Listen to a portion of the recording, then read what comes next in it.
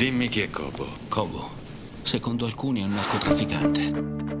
È un assassino di monaci. Cobo è un bambino che non crescerà mai. Cobo in cerca della libertà. Io so che Cobo ha combattuto. È una regina, è un cavaliere pazzo. Cobo può essere chiunque. Cobo sono i personaggi, le storie e i libri che ami, da leggere quando e dove vuoi. Cobo Touch a 99 euro con tre ebook in regalo, online nelle librerie Mondadori.